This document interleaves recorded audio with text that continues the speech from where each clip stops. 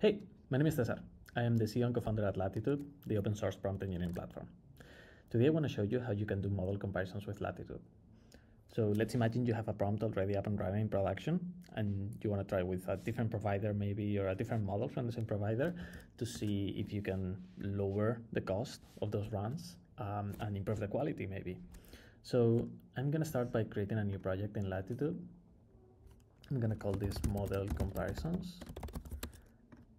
Let's create it.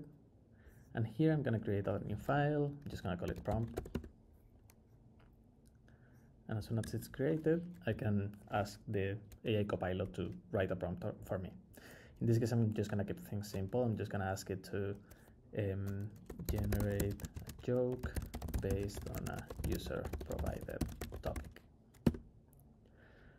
So I submit this, and now it's going to generate a suggestion of a prompt for me.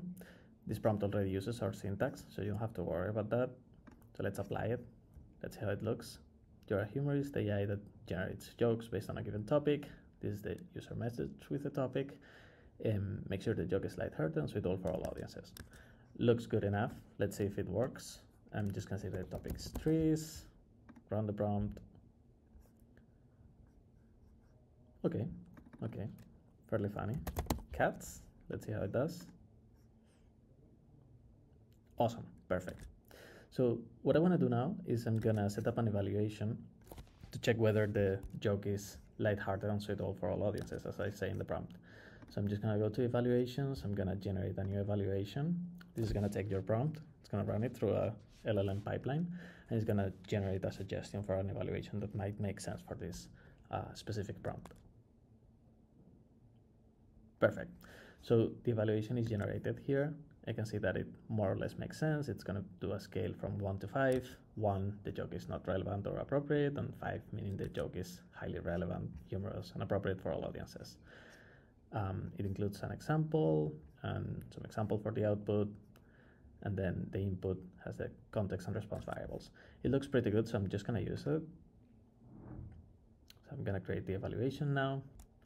So now that the evaluation is created, I'm going to run it in batch to see that it makes sense um, for different variations of my prompt. So to do so, I'm gonna need to pick a data set. I'm gonna generate one since I don't have one currently. I'm gonna call this jokes. Um, the parameter is gonna be topic, which is the parameter I'm using in my prompt. And here, I'm just gonna say generate a list of topics for different jokes.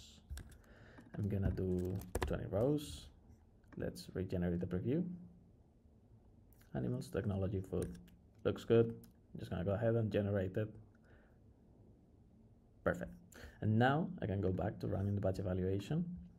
I'm gonna select the data set I already had, so jokes. I'm gonna include all the lines, and then I'm gonna select um, that the column topic matches the topic parameter in our prompt. I'm gonna run the evaluation. So now what this is doing, it's it's compiling uh, multiple versions of the prompt is running those versions against um, well, the provider API, and then it's running evaluations with that prompt we just saw on top of that. So we can see that our average is 4.67. Um, I can go in and see why some of them are fours instead of fives, um, and I can even check the original log to see what happened. Okay, and now I'm um, just gonna save this version I'm gonna publish it right here, publish the production, because I'm quite happy with the results. Um, for this specific prompt, I'm using GPT-4o Mini. So I wanna check whether GPT-4o um, is gonna give me better results. So to do that, I'm just gonna create a new version. I'm gonna call it a new model test. And I'm gonna create it. I'm gonna go back into the prompt and now I'm gonna select GPT-4o instead of GPT-4o Mini. Now I'm gonna go back to evaluations because I wanna test this at scale.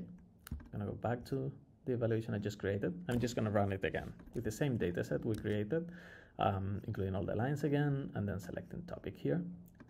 I run the evaluations. And now uh, it's gonna do the same process again. The only difference is that uh, it's gonna use GPT-4o instead of GPT-4o Mini. And not only that, it's going to show me um, where the different versions of the prompt stand against each other in this nice chart that we have here. So for example, this is the current version I have selected, no? the new one with, the, with GPT-4o. So in this case, the average result was 4.81 um, compared to 4.67 uh, in GPT-4o mini. But we can also see that the cost increased. So for example, the average cost using GPT-4o is way higher than GPT-4o mini. So I guess in this case, I can go back to GPT-4o mini and refine my prompt based on the um, evaluations that are not passing or that are not fives um, to try to improve it because I think I can get there while keeping the costs low. And that's it. That's how you can compare different models uh, using the same prompt and the same evaluation, just changing the model quickly in the selector and see how they stand against each other. Thank you for watching. See you in the next one.